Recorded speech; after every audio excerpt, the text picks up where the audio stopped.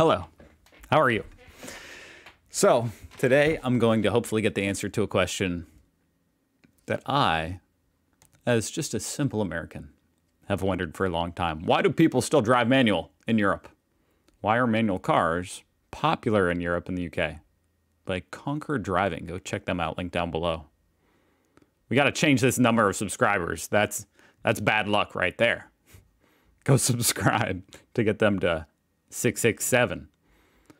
Oh, and it almost matches the view count. This is, I'm actually getting spooked out now at this video. But anyway, um, I'm ashamed to admit, I don't even know how to drive a manual car. It's embarrassing, I know. And especially, you know, now I live in Indiana, in the Midwest of America, where that's pretty embarrassing.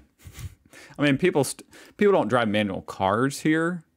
Almost, I don't know, probably one out of 20, maybe less but they do drive manual like um, ATVs and um, motorbikes and stuff, you know, that are manual. So not knowing how to do that, pretty embarrassing. But you know, I keep it, as the kids say, I keep it a buck. I don't know how to drive manual. But why would you ever want to drive a manual car? Honestly, I don't know. I don't understand but I'm going to find out. What the heck? I can't comprehend that. Playback speed normal. What happened? Hold on. Let's try that again. Speed my American brain can follow. I'm in a fairly typical street in the UK. Let's take a look at what people are driving. Here is a Ford Fiesta. I'm just having fun. I'm distracted by just the street. I'm just having fun seeing all these like brick retaining walls and stuff. And this, it's all just interesting. This fence. We're driving. Really small garage, not attached to the house. Here is a Ford Fiesta, and that is a manual. Steering wheel's on the wrong side.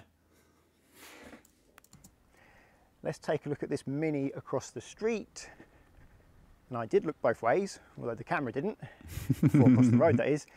And that is also a manual. I have to say, if I saw this guy or anybody outside my house poking his GoPro into my car, um, yeah, I, I don't know. I don't know what I would do, actually. I would be pretty sketched out. I'm not going to look at this Fiesta because I just looked at that one. So don't need to look at two Fiestas. Let's go and have a look at this Citroen. Are they not? Are there not like manual and automatic Fiestas? It's free instead. So so far, all the cars have Is been manual. manual or an automatic. Also a manual. Wow. Now there is a Mercedes C-Class down there. I believe that is automatic because it's Ooh. the E model, which means it's going to be hybrid. I'm going to have a quick run so hybrid. I mean, I know all electric cars are obviously manual, but hybrid cars are too. Um, I didn't know that. Yes. C350E. So that is going to be an automatic, but this is a much more expensive car, and it's also still fairly young, being five years old. Yeah, five. Do your maths, Richard. All petrol Good and diesel car. cars need gears. Some change gear automatically for you, and in others, you have to change gear manually yourself. All early cars were manual, and the automatic gearbox didn't start to become widely available until the 1930s and 40s, or at least... That long ago? Damn, it's been 100 years since automatic cars were invented? Widely available in certain parts of the world. But that's 80 years ago. Why is the manual still so popular today. And in some markets, no such idea. as America, the automatic has been the norm for some time now. In fact, in some states, you can actually pass your driving test in an automatic and be allowed to drive a manual. yeah, I've never heard of that not being the case. It's stupid now that he says it, but yeah, if you got your license, you can drive whatever the hell you want. Well, I mean, you do need a separate thing for a motorcycle, but as far as a car, and of course, like a really big bus. I mean, I guess now that I say it, you can't drive whatever the hell you want, but you sure can drive whatever car you want manual, automatic. Yep, that's up to you at that point, I can only which is scary. guess this can be allowed because there's so few manuals that it's not a major safety concern. But in the UK, most small, cheap Or maybe it's just stupid and it should be changed. cars are manual. So if people in the UK could pass in an automatic and then drive a manual, we would have somewhere between 500,000 and 700,000 new drivers each year passing in automatics Uh-huh. with no manual experience, taking to the road for the first time in their manual.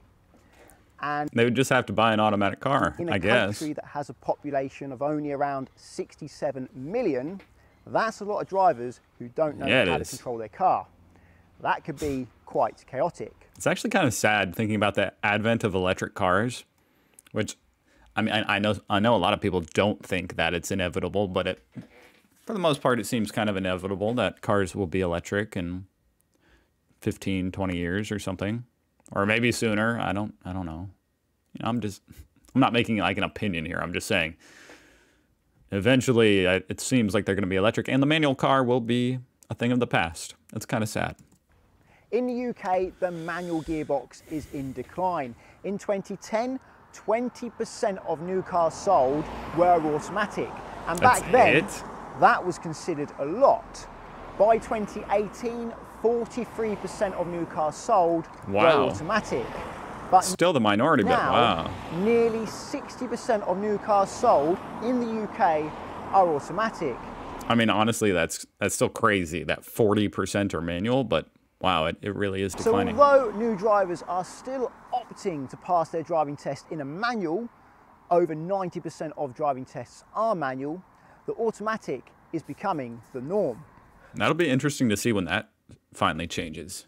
If it ever, I mean, it has to at some point, right? So why has it taken so long for the automatic to start to take off in the UK? Well, it's quite simple. Traditional automatics with torque converters were mm-hmm. big, heavy and inefficient.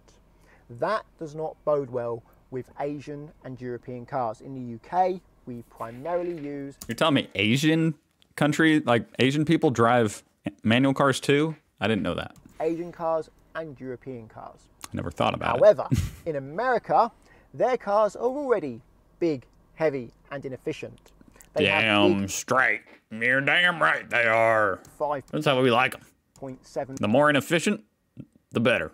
V8s, which they call a 350 cubic inch. With loads of torque, so having a less efficient gearbox doesn't make as much of a difference. And gasoline, as they call it over there, is mm-hmm. much cheaper. So having the convenience right. of an automatic makes more sense because the negatives doesn't feel cheap anymore, but yeah. What is the price of gas? I mean, I have to look that up real real quick. Price of gas in the UK right now. How am I going to find this? Oh boy. I thought this would be like a quick thing, but I have no idea what that even means. 156p is that pence? And it's in a different unit, you know, like that's what is that for a liter?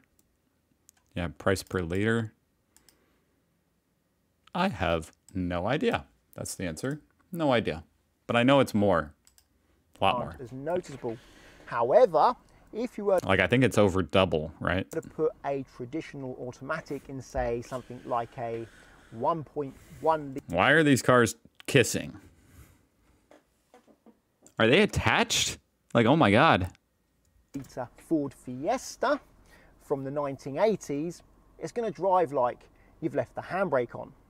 But hmm. in the early noughties or 2000s, something started to change. I'm sorry. Did he just say the early na- naughties? But in the early noughties or 2000s, Why have I never heard a British person say the 90s? You guys call it the the naughties? something started to change.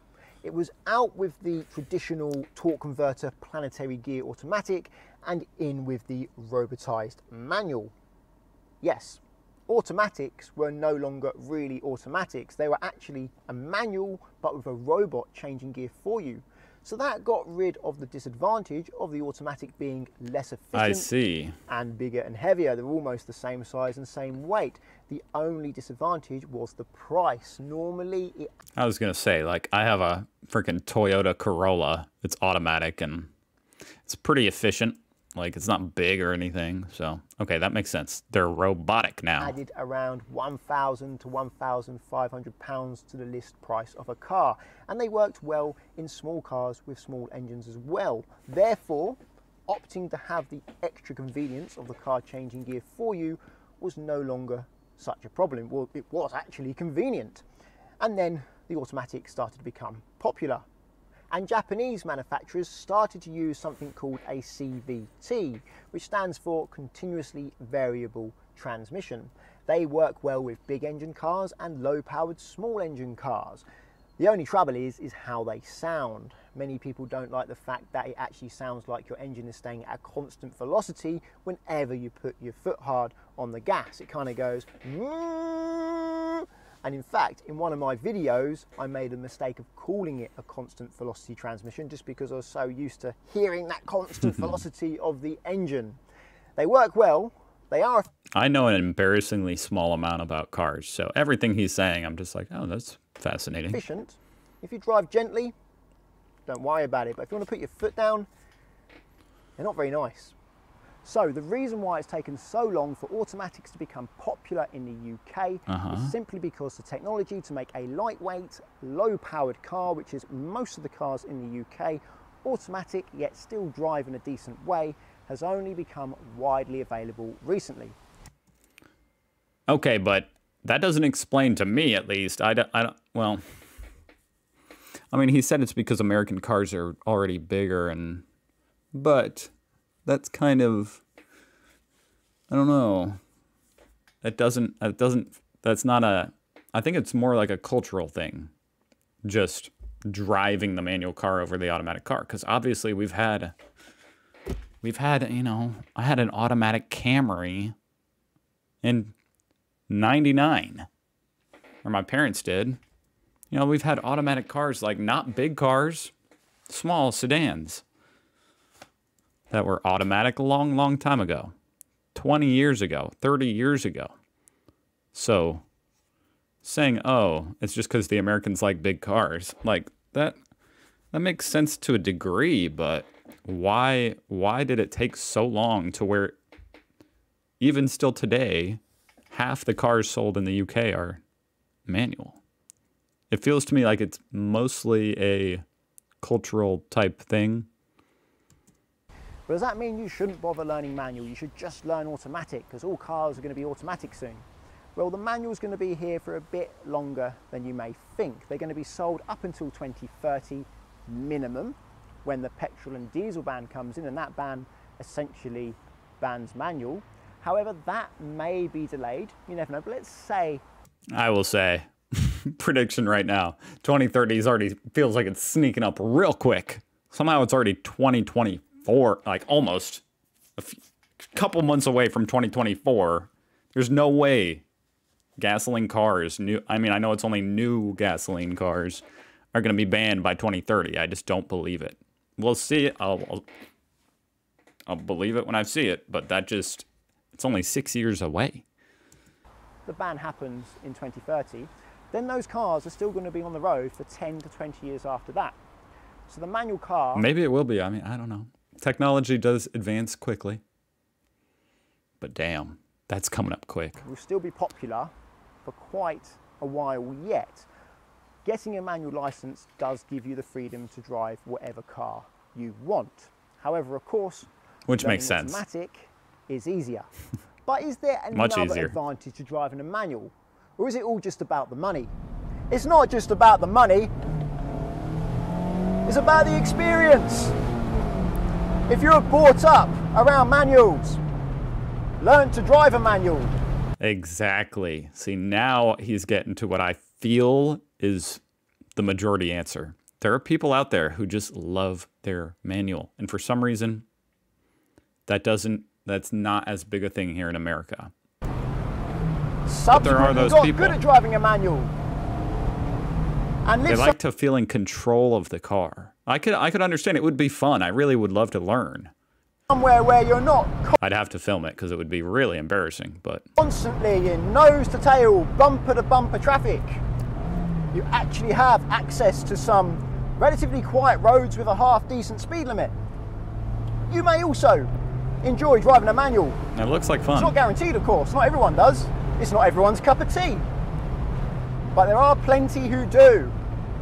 And as a result, He is really blasting into my eardrums. the great British country roads, Whoa! manual has stayed strong for years. Even though realistically, the economy and how much people earn in this country means that automatics aren't really out of the question. a manual car and a bicyclist. Two things you'd never see here in America. It is a bit of a choice. Now, I could be driving down this road in an automatic, but I know from experience I won't be having as much fun. There is a sense of I'll tell you what, it's a lot harder to text and drive in a manual car. It could be safer. joy from the achievement of achieving It's hard to get distracted when you have to have full or a lot of focus on what you're doing. the perfect gear change, the downshift rev match, the heel and toe rev match, under braking, I barely even know what he's talking about, but I, I already feel like he's getting me to want to get out there in a manual car. and kissing the red line. Although you can do Red that line? in an automatic as well. Of course. Drive responsibly. And that's part of what makes driving a manual so special. I didn't break the speed limit there, but I enjoyed myself. A very powerful automatic will shoot you up to I can't believe how much he just had to do just going around a bendy road. very high speeds very quickly without you doing much at all. I mean, I, I don't think he Which actually needed to do all that, but Wanting to enjoy the speed he was probably having some as fun. opposed to the involvement. So therefore, driving a manual enthusiastically allows you to have fun whilst being safe because there's something else to enjoy. Of course, manuals aren't for everyone. Some people just prefer automatics. I know both. Some people like auto, some people like manual. A lot of people like manual for the same reasons I do, and many people like automatic because, well, it's easier and they're not really enthusiastic about driving. Exactly. It's like the car enthusiasts. Those are the people who who probably really appreciate a manual car. Um, and growing up, all only ever driving automatic cars. That actually might be why I don't have like much enthusiasm about cars, and I kind of wish I did. Like I, cars are really cool, so it'd be cool to learn an auto or a manual. They just want to get from A to B. The old stick. Wherever you are, doesn't matter. Enjoy your car. Well, I hope this video helps you understand why manuals are still so popular in the UK. Yeah. If you think it does, please give the video a thumbs up and check out Collingwood and Confused in the description.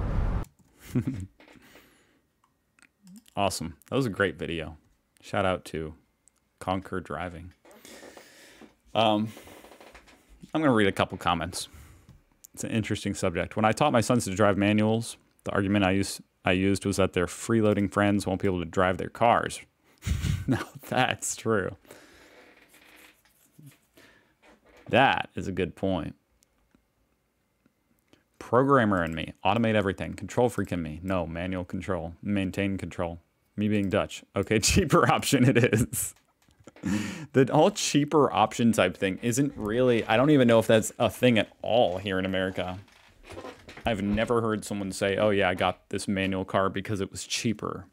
And when you go to buy a new car, they don't even, they don't even say, oh, like, are you looking for a manual or an automatic? No. They just bring you to the automatic. They might not even have a manual on the lot.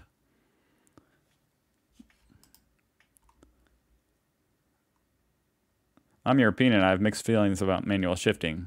Even when the road flows well, it's fun to drive with the manual, and it kind of turns driving into a mini game when you try to get perfect shifting. Yeah, it does sound fun.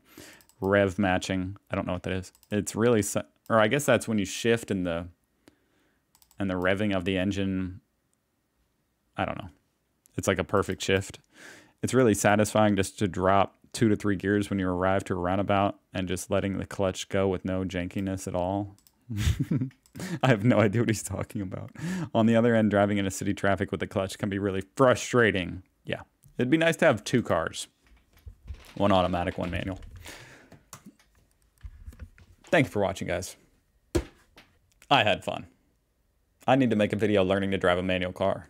Subscribe for that. I don't know what, where I would even find a manual car, though. And I ran out of battery. Perfect timing. I'll see you guys tomorrow.